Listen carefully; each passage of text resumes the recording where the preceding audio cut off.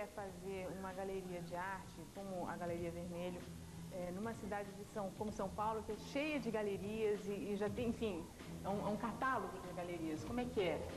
Eu, eu, não acho que São Paulo tem muitas galerias de artes. Pelo tamanho da cidade, pela complexidade, Sim. eu acho que é, tem uma produção forte, produção de arte muito forte. Acho que até caberiam mais espaços, mais, mais é, instituições pensando sobre arte contemporânea havia uma coisa assim, alguma coisa a se inovar ou não? Existe uma linguagem da cidade em termos de galeria? Eu tenho a impressão que um lado interessante da ideia de galeria é, é, a parte intelectual dos organizadores mesmo, que escolhem, programam os espaços, quanto mais improvisados e, e melhor. Parte de arquitetura é, é, um pouco mais técnica. Aqui eram quatro casinhas, né? Três. Três casinhas. Era uma vila com três casinhas. Por esse telhado, você vê que a parte mais pesada e final, que é o telhado, se apoia na parede externa contínua. Não tem nada que ver com as divisões das casas. Portanto, você pode tirar a divisão e não cai nada. E isso se torna uma galeria de arte, mas muito mais pela mão da cabeça das pessoas que montam isso. Eu fico com essa impressão, assim, de fazer uma galeria é imaginar esse lugar ideal para expor peças de arte. Como o Louvre. É, não sei, É tudo improvisado. A maioria dos museus...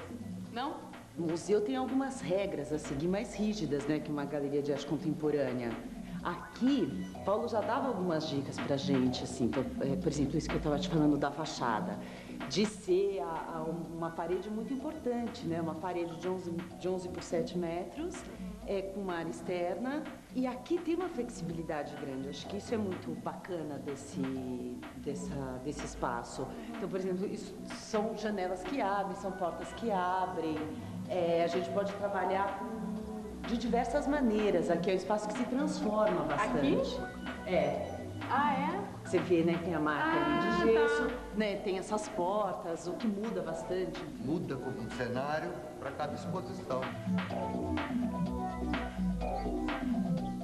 Aqui fora dá para ver melhor essa, essa estrutura, né, de vila, porque tem a entradinha ali, tem esse pátio, né? Não sei como é que vocês chamam. Vocês mantiveram isso por quê? O que a gente queria era fazer um espaço que as pessoas pudessem conviver com a arte o máximo possível, da melhor maneira possível. E é uma praça privativa da galeria, né? Isso faz parte da galeria.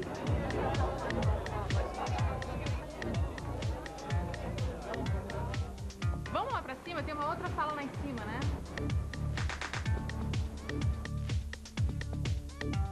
Eu digo que o, o, os elementos arquitetônicos desencadeiam ou podem desencadear uma série de situações né, que a galeria explora, os artistas exploram na hora de expor a sua obra. Esse aqui fez essa viga verde, diz que a exposição vai se chamar Viga Mestra. Então a própria galeria vai se transformar como exposição do artista.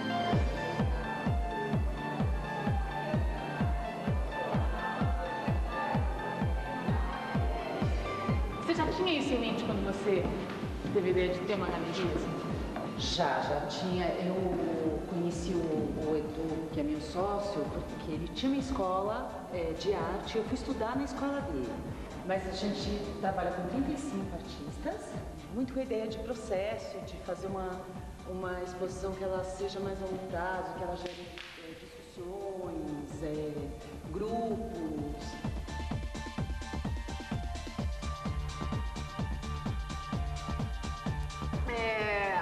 A, Cristina Brasil vai visitar o Espaço de Arte Bernardo Jacobsen, em Rio de Janeiro, no Jardim Botânico. Do neto do meu amigo. É. Certo. Que lugar lindo. Como é que vocês acharam essa casa no Horto? Como é que começou? Quando onde surgiu essa ideia? Queria trabalhar num espaço que tivesse jardim e principalmente trabalhar com, num espaço que tivesse arte dentro.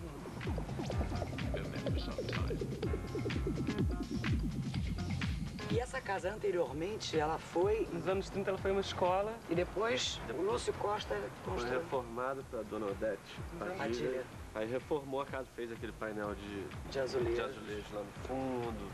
E vocês fizeram uma outra em cima? O que o, o Lúcio Costa tinha feito estava encoberto, com massa, com tinta. Com...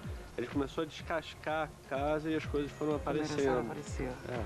Vocês mantiveram ela original, tem A algum... gente manteve O que, que vocês agregaram, assim, de, de novo? A gente mudou os espaços internos, tipo, tirou umas paredes. A Isabel do Prá, que fez o jardim. Vamos caminhar, vamos dar uma olhadinha, porque eu vi aqui uns trabalhos lindos, contemporâneos, no jardim. Isso, isso é um acervo de vocês? Isso é uma parceria que a gente tem com os artistas e as galerias. E agora, essas peças, tem algumas que ficaram da última exposição. Que é a peça do Weissman, Linda, linda. Essa é da... Junqueira. Fernanda Junqueira. Vocês projetaram aqui, ou projetaram, entre aspas, porque você falou que não modificou muito, é, o que mandou foi exatamente a ideia da galeria, a ideia de ter essas peças grandes, foi o que mandou no, no projeto, na, na- A ideia da galeria e a ideia do- da coisa meio industrial, de você trabalhar no meio disso tudo, assim. A ideia era essa. Vamos caminhar aqui, porque esse Essa corredor sala é lindo. é gostosa, essa sala de reunião. Aí Tem isso é uma bagunça, sala de reunião. mas a ideia é essa, não tem bagunça de livro, revista, tá? tem uma peça linda do... Manfredo. Mas aí quando você faz a exposição, aí as pessoas entram dentro do escritório, quer dizer, eles, eles participam também do lado do lado da, da operação do escritório. E a gente participa da operação da, da, da galeria.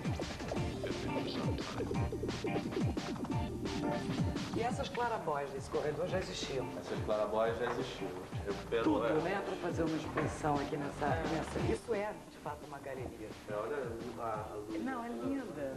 É linda.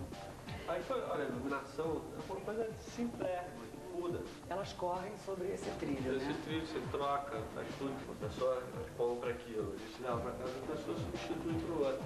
E tem foto, tem escultura, tem Tudo misturado. pintura, É. tudo misturado.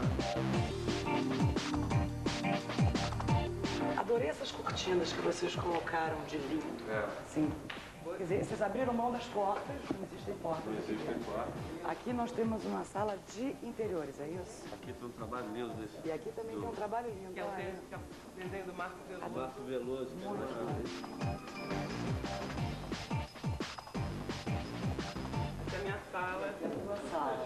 porque essa sala ficou assim, várias possibilidades da imagem, né? Aham.